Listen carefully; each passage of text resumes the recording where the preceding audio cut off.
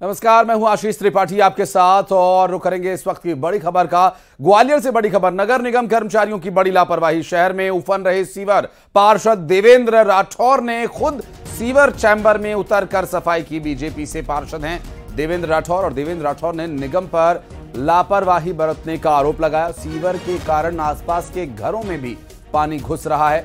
और तस्वीरें हम आपको दिखाएँ। यहाँ पर देखिए, ये देवेंद्र राठौर हैं जिन्होंने सीवर में घुसकर सफ़ाई की है। हालाँकि ये जो पानी वो निकाल रहे हैं, ये बाहर से भी निकाल सकते थे, लेकिन उन्होंने अंदर घुसकर ये पानी निकाला है। और ये सीवर में उतर कर उन्होंने सफ़ाई की सांकेतिक रूप से नगर निगम को ये दिखाने के लिए कि काम करने की आवश्यकता है। और सीवर उफन रहे हैं। सीवर चैम्बर में उतर गए बीजेपी पार्षद और घरों में घुस रहे पानी को लेकर उन्होंने शिकायत की और आरोप लगाया कि नगर निगम की घोर लापरवाही के चलते ये सब कुछ हो रहा है। दरअसल शहर में उफन रहे सीवर लोगों के लिए परेशानी का कारण बने हुए हैं। ये पार्षद देवेंद्र राठौर हैं जिन्होंने खुद सीवर चैम्बर में उतरकर साफ़ सफ़ाई की और बीजेपी से पार्षद देवेंद्र राठौर, हालाँकि अभी ये सफ़ाई क्या अब निगम तक ये मैसेज जाएगा, ये भी देखने की बात होगी।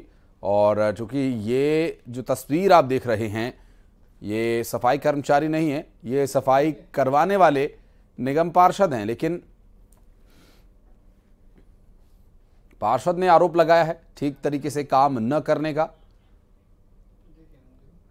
और ये ग्वालियर से तस्वीरें सामने आई, सीवर चैम्बर में उतरकर बीजेपी पार्षद ने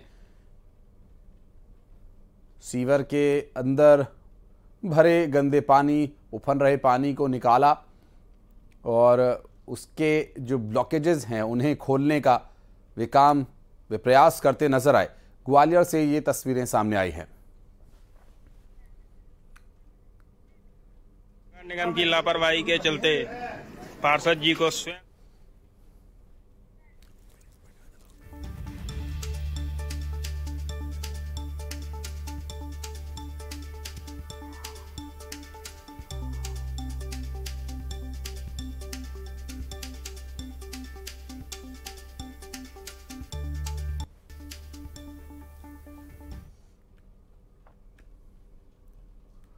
और बिलासपुर में बीएड डिग्रीधारी टीचर भर्ती के अभ्यर्थियों को। हाईकोर्ट से बड़ा झटका लगा है। दरअसल, असिस्टेंट टीचर भर्ती प्रक्रिया में बीएड डिग्रीधारी उम्मीदवारों की नियुक्ति को निरस्त करने का आदेश दिया है। राज्य सरकार को छह सप्ताह में नई चयन सूची जारी करने का आदेश दिया गया। नई चयन सूची में डीलेड अभ्यर्थियों को मौका देने के लिए कहा गया है। उमेश हमारे सहयोगी जुड़ गए हमारे साथ। उमेश, अभ्यर्थियों के लिए ये तो बड़ा झटका है। आधार क्या कुछ बना इसका? देखिए डीएलएड जो उम्मीदवार थे, उनका ये कहना था कि कहीं ना कहीं उनकी उम्मीदवारों पर बीएड के जो डिग्रीधारी है, उनका हक होना कहीं से सही नहीं है, जबकि उसके लिए नियम पहले से बना हुआ है। ऐसे में जो डीएड डिग्रीधारी है, उन्होंने हाईकोर्ट की शरण में गया था और इस पूरे मामले को उठाया था कि जब डीएड के लिए पहले से प्राइमरी स्कूल के टीचर या असिस्टेंट टीचर के लिए उम्मीदवारी की गई है तो उसमें बीएड के डिग्रीधारियों के अधिकार कैसे होगा इस पूरे मामले को लेकर हाईकोर्ट में सुनवाई हुई। और सुनवाई के दौरान ये महत्वपूर्ण फैसला जो है, असिस्टेंट टीचर भर्ती प्रक्रिया में जो डीएड बीएड की उम्मीदवारी कर रहे थे, उनके आदेश को निरस्त कर दिया गया है। और इसके साथ ही राज्य सरकार को छह सप्ताह के भीतर पुनर्निरीक्षण चयन सूची जारी करने के निर्देश भी दिए हैं। फ़िलहाल एक बड़ा फैसला है, और इस फैसले के बाद से ये चूँकि उनतीस फरवरी को ये फैसला सुरक्षित रखा था, जिस पर आज आदेश जारी हुआ है। जी। लेकिन अभी इसमें कुछ राहत की उम्मीद है? क्या आगे कोई ऑप्शन इन अभ्यर्थियों के लिए दिखाई दे रहा है? देखिए राज्य सरकार के नियम अनुसार ही यहाँ पर बीएड और डीएड की जो है उम्मीदवारी की जाती है। चूँकि डीएड के उम्मीदवारों के लिए असिस्टेंट टीचर यानी कि प्राइमरी स्कूल तक की उमेश क्या आगे कोर्ट के लिए कोई रास्ता खुला हुआ है? हाई कोर्ट से क्या आप सुप्रीम कोर्ट जाने की तैयारी कर सकते हैं अभ्यर्थी? देखिए अब ये तो अभ्यर्थियों के ऊपर है कि ये इस पूरे मामले को लेकर वो अपने वकीलों हाँ। के माध्यम से क्या सुप्रीम कोर्ट जाएँगे ये उनका तर्क होगा लेकिन कहीं ना कहीं एक बड़ा विकल्प उनके पास है। विकल्प है उनके पास। बिल्कुल। चलिए बहुत शुक्रिया उमेश आपका इस पूरे मामले पर जानकारी देने के लिए। और बढ़ते आगे रायपुर से एक अहम खबर आपको बता दें डिप्टी सीएम अरुण साव का सचिन पायलट पर तंज। सचिन पायलट के छत्तीसगढ़ के दौरे पर बोले अरुण साहब सचिन पायलट राजस्थान संभाल नहीं पाए। छत्तीसगढ़ में आने के बाद वे क्या करेंगे? इस लोकसभा चुनाव, छत्तीसगढ़ के प्रभारी की ज़िम्मेदारी दी गई है सचिन पायलट को। और सचिन पायलट अब अरुण साहब के निशाने पर। सचिन पायलट जी तो राजस्थान संभाल नहीं पा रहे हैं। राजस्थान में उनकी क्या स्थिति है? फिर छत्तीसगढ़ में क्या करेंगे आकर? बड़ी सफलता हाथ लगी। सचिन पायलट जी तो राजस्थान संभाल नहीं पा रहे हैं। राजस्थान में उनकी क्या स्थिति है? फिर छत्तीसगढ़ में क्या करेंगे आकर? बड़ी सफलता।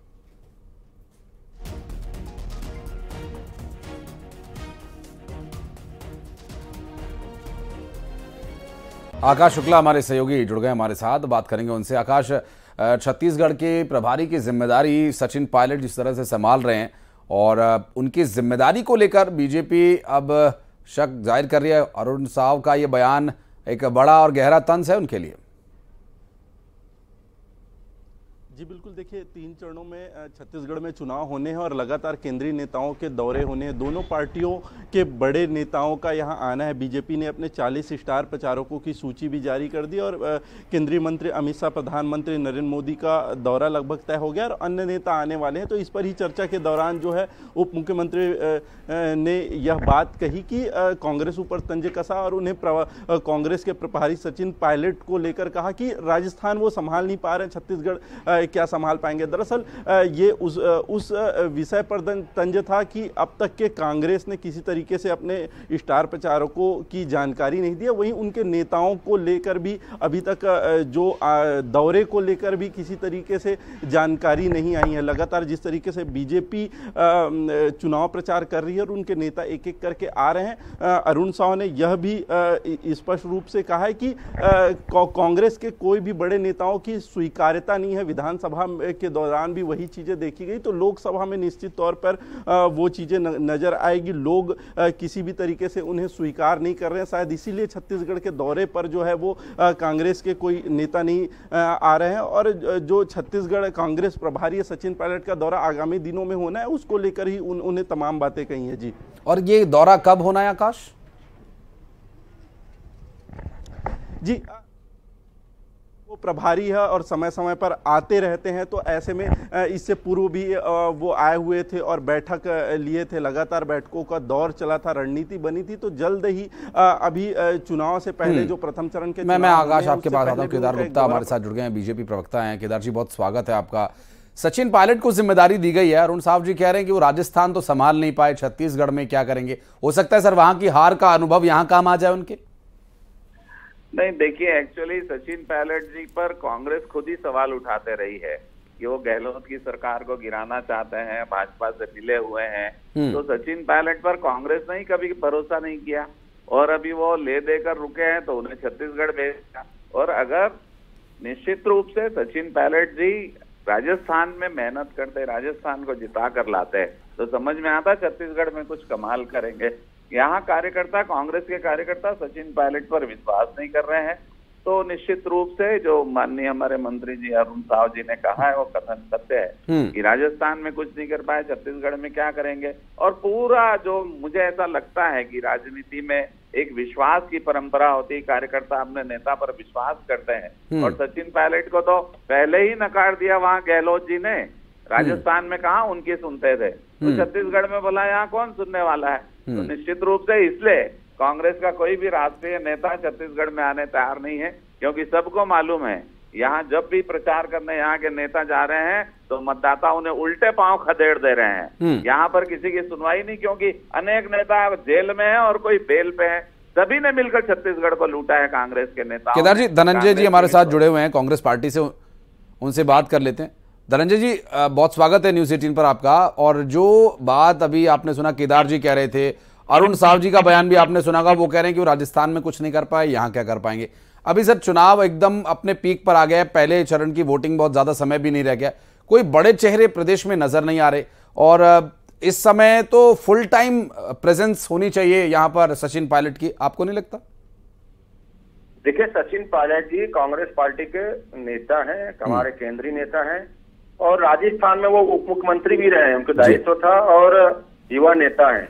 और उनके कार्य के अनुभव को उनके राजनीतिक अनुभव को लेकर उनकी लोकप्रियता को लेकर उन्हें छत्तीसगढ़ से ज़िम्मेदारी दी गई है। हम्म। अरुण साहू जी को सचिन पायलट जी पर टिकट टिप्पणी पढ़ने करने पहले खुद के गिरबान में झांकना चाहिए। हम्म। घड़ी के पेंडुलम की तरह स्थिति है अरुण साहू जी की ना तो संगठन के हिस्सा बन पाए ठीक से ना सरकार के हिस्सा बन पाए हैं हाँ, तो अपने को देखना चाहिए कि वो भी तो उप मुख्यमंत्री है उनको इस प्रदेश के बाहर क्यों भारतीय जनता पार्टी किसी और राज्य में ज़िम्मेदारी नहीं दिया है? हम्म। तो किसी पर आरोप लगाने से पहले खुद में कितने पानी है देख लेना चाहिए और कांग्रेस पार्टी के सभी नेता छत्तीसगढ़ भी आएँगे। और भारतीय जनता पार्टी का डर बता रहा है कि नरेंद्र मोदी जी और अमित शाह जी आते हैं और सिर्फ़ झूठ बोलते हैं और कांग्रेस के नेता आते हैं तो नरेंद्र मोदी सरकार की जो पोल खोलने काम करते हैं जो इनकी नाकामी को बताते हैं तो समझ में आता है ना? एक भाजपा नेता वही काम सवाल वही था। ठाकुर साहब सुनिए ना सवाल वही था कि वो कब आएँगे नेता? चूँकि सचिन पायलट का आना वो नेताओं के साथ आपके अधिकारियों के साथ मीटिंग्स होती हैं लेकिन वो बड़े नेताओं की आमद कब होगी? ये ज़िम्मेदारी तो संभवतः सचिन पायलट पर ही होगी कि वो बड़े नेताओं को लाएँ ताकि कार्यकर्ताओं का हौसला बढ़े। भाई कांग्रेस पार्टी अपने तय प्रोग्राम के अनुसार काम कर रही है और अभी नामांकन की प्रक्रिया जारी तो निश्चित तौर पर हमारे बड़े नेता भी छत्तीसगढ़ आएँगे और कांग्रेस गारंटी को बताएँगे और मोदी का नाकामी को भी जनता के सामने रखेंगे। ठीक। चलिए, बहुत शुक्रिया ठाकुर साहब, बहुत समय निकालने के लिए। केदार जी बहुत बहुत धन्यवाद आपका हमारे साथ जुड़ने के लिए। आकाश शुक्ला हमारे सहयोगी, हमारे साथ जुड़े, आपका भी बहुत बहुत धन्यवाद। चलिए, बढ़ते हैं आगे और रुख करेंगे अगली खबर का। रायपुर से खबर है जहाँ स्कूल्स का समय बदले जाने की मांग की जा रही है। तेज गर्मी को देखते हुए एनएसयूआई ने ये मांग उठाई है। आपको बता दें कि रायपुर डीईओ को एनएसयूआई ने ज्ञापन सौंपा है। एनएसयूआई की स्कूल्स का समय बदले जाने की मांग के पीछे जो कारण है वो ये कि अब गर्मी बढ़ गई है। तेज गर्मी के चलते समय की स्कूल के समय की सारणी को बदला जाए, उनकी मांग है। और एक ज्ञापन डीईओ को सौंपकर समय बदले जाने की मांग की गई है। बहरहाल, अब देखना होगा कि शिक्षा विभाग इस पर क्या फैसला लेता है।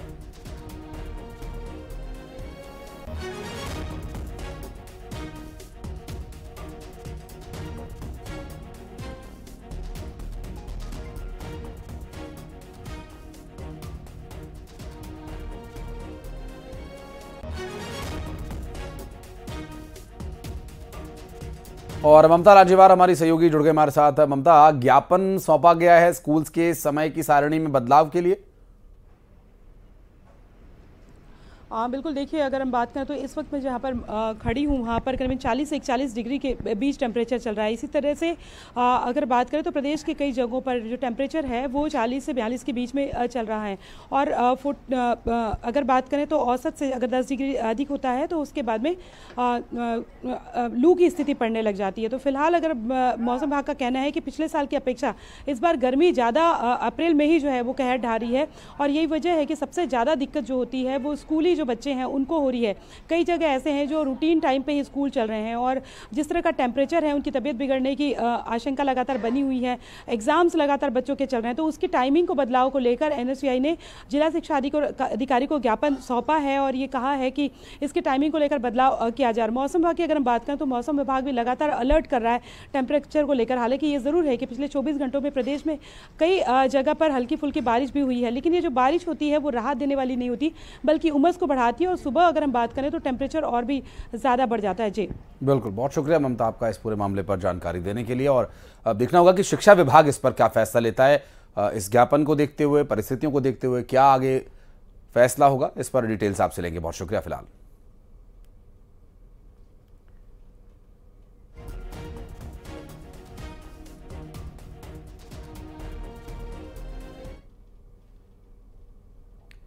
पोथी पढ़ पढ़ जगमुआ, पंडित भयानक होए ढाई आखर प्रेम का पढ़े सुपंडित होए। कबीर का ये दोहा अक्सर लोगों को प्रेम के प्रति जागरूक करने के लिए आपने कहते सुना होगा, लेकिन जबलपुर में एक ऐसे नेताजी हैं जो इस कहावत, इस दोहे को लोगों के जीवन से जोड़ने का प्रयास कर रहे हैं। लोकसभा चुनाव में इसी कहावत के ढाई आखर, यानी ढाई अक्षर के नाम से पार्टी बनाने वाले प्रत्याशी भी मैदान में हैं, जिनका नाम ढाई अक्षर का है। आइए आपको मिलवाते हैं संस्कार धानी के इस अनोखे प्रत्याशी से।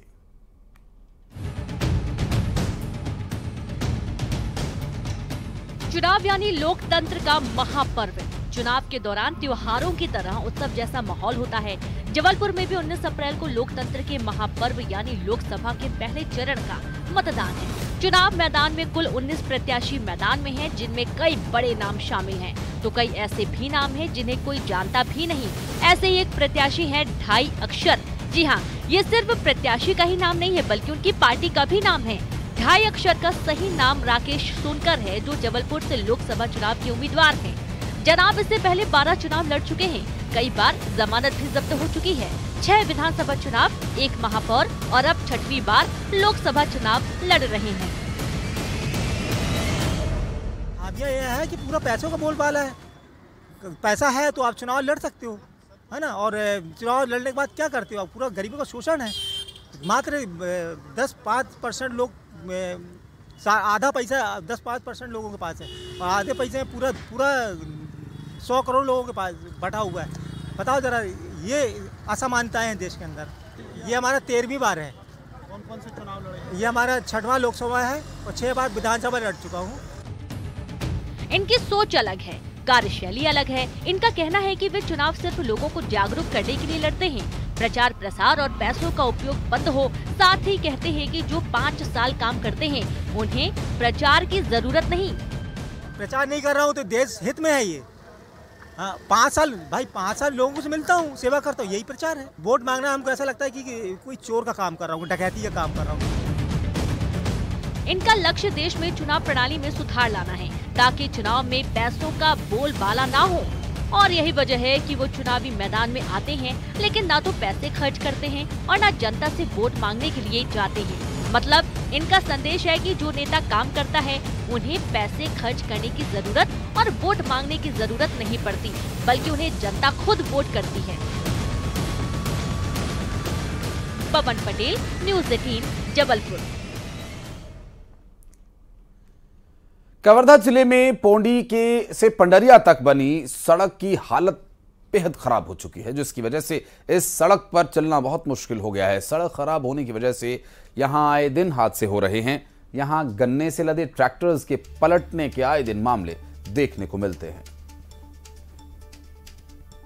तक निर्माणाधीन एन एच सड़क की हालत आप देख सकते हैं। जगह जगह निर्माण के दौरान ही बड़े बड़े गड्ढे हो गए हैं, जिसमें आए दिन दुर्घटना का शिकार जो है वो छोटे बड़े वाहन हो रहे हैं। आप देख सकते हैं ट्रैक्टर अभी आपको नज़र आ रहा होगा, जो यहाँ पे पलट गया है और इसकी वजह यही है कि निर्माण काम में एक तो देरी हो रही है, गुणवत्ता की कमी है और जगह जगह गड्ढे बने हुए हैं। बारिश में जैसे तैसे लोगों ने इस रास्ते से आवागमन किया और हल्की बारिश होने पर यह मार्ग पूरी तरह से जाम हो जाता है। जिसमें ठेकेदार की पूरी लापरवाही सामने आई है, जिसके द्वारा जो रोड जो है दोनों तरफ़ से उखाड़ के बनाया जा रहा है और इसमें निर्माण काम में भी देरी है, गुणवत्ता की कमी है।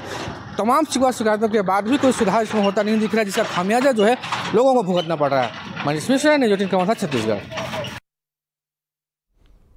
और खबर जगदलपुर से, जहाँ पीडीएस दुकानों में चल रही धांधली को लेकर कलेक्टर एक्शन मोड में आ गए हैं। कलेक्टर ने जाँच के आदेश दिए। दरअसल, पिछले दिनों कलेक्टर पीडीएस दुकानों के औचक निरीक्षण के लिए निकले थे और इस दौरान पीडीएस दुकानों की बोरियों में कम चावल पाया गया, जिसके बाद उन्होंने एक टीम गठित कर जाँच के निर्देश दिए। जांजगीर चांपा से रायपुर लौट रहे डिप्टी सीएम विजय शर्मा का एक मानवीय पक्ष देखने को मिला जहाँ सड़क किनारे हुई दुर्घटनाग्रस्त वाहन के लिए उन्होंने अपना काफिला रुकवाया और उन्होंने घायल को अस्पताल पहुंचवाया। आपको बता दें, ये वो तस्वीरें हैं जब हादसा हुआ, उसके बाद यहाँ से विजय शर्मा का काफिला गुजर रहा था और उन्होंने रुककर उनकी मदद की।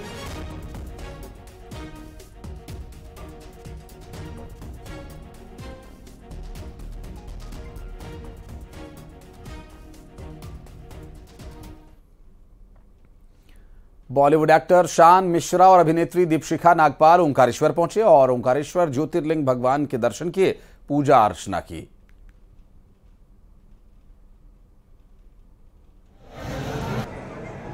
आ, मैं शिव शंभू का भक्त हूँ और देवभूमि से ही हूँ मैं उत्तराखंड से देहरादून से। तो बाबा केदार का हमेशा आशीर्वाद बना हुआ है और बना रहेगा। बाबा के दरबार में आने के बाद तो मतलब सब मग्न हो जाता है एकदम हर हर महादेव। और दिल को बहुत शांति मिलती है और काफ़ी टाइम से मैं इस दर्शन के लिए प्लान कर रहा था। कुछ टाइम पहले ही मैं एमपी के दूसरे क्षेत्र में शूटिंग कर रहा था तो तब से मेरा प्लान बना था कि मैं यहाँ आऊँगा और दर्शन करूँगा बाबा के। और दर्शन बहुत ही अद्भुत हुए हैं और दिल बहुत प्रसन्न है। बाबा से तो सब कुछ मांगा और बाबा सब जानते हैं तो तो काम कर ही देंगे। लेकिन मैं शिव भक्त हूँ और ज्योतिर्लिंग खत्म कर रही हूँ सारे। पहले भी आई थी मैं ओंकारेश्वर, लेकिन अब जैसे वापस ज्योतिर्लिंग के दर्शन कर रही हूँ और मैं खंडवा में प्रोग्राम के लिए आई थी। जैसे मुझे पता चला ओंकारेश्वर और ममलेश्वर महाराज यहाँ आए तो कैसे मैं दर्शन नहीं करूँ मतलब नहीं करूँ तो मतलब मेरा लॉस है। वो बस बाबा के चरण में है। जो मांगा है पूरा हो जाएगा। और कूनो में पर्यटकों को आखिरकार चीते के दीदार हो ही गए। कूनो घूमने पहुँचे पर्यटकों को पवन नाम के नर चीते के दीदार हुए। चीता देखकर पर्यटक काफ़ी रोमांचित हुए।